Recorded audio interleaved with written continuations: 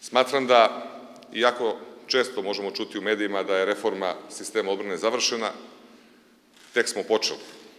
Vojska je tek krenula da napreduje.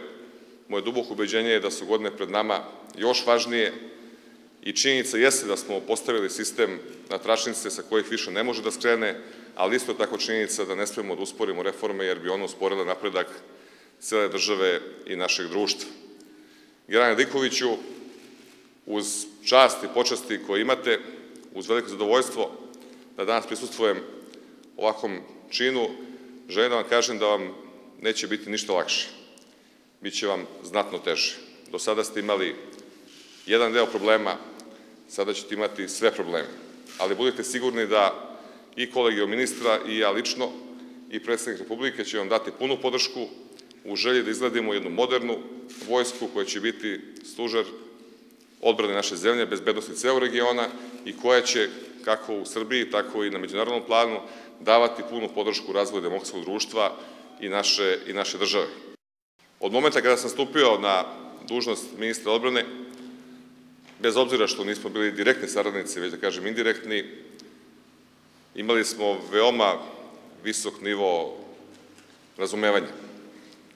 Razumevanje u tome da Vojska Srbije mora da napreduje, razumevanje u tome da bez modernizacije ni Vojska ni Srbija ne mogu da napreduju, razumevanje u vremenu u kome živimo i želim da naglasim razumevanja kao zemljaci koji imaju predke koji su se rame uz rame borili za našu Srbiju. Želim da se zahvalim generalu Miletiću na sve ono što je u svom radu učinio. Kao jednom od najstarijih oficira Srbije vodio je najmoderniju reformu u Srbiji, reformu za koju možemo da kažemo da je najuspešnija i najbolja reforma ne samo sistema odbrane, već našeg društva. S druge strane, danas dobijamo ništa mlađeg. Načelnik generalštaba,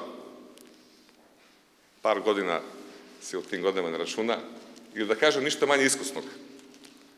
Načelnik generalštaba koji je u svom proteklom vremenu na svim dužnostima ostavio izuzetno jak utisak kao čovek koji donosi odluke, kao čovek koji ne okleva, kao čovek koji razume vreme u kojem živi, kao čovek koji ima autoritet da sprovodi upravo one reforme za koje nekada na početku neko nema razumevanja, ali kasnije vrlo rado koristi benefite upravo te reforme.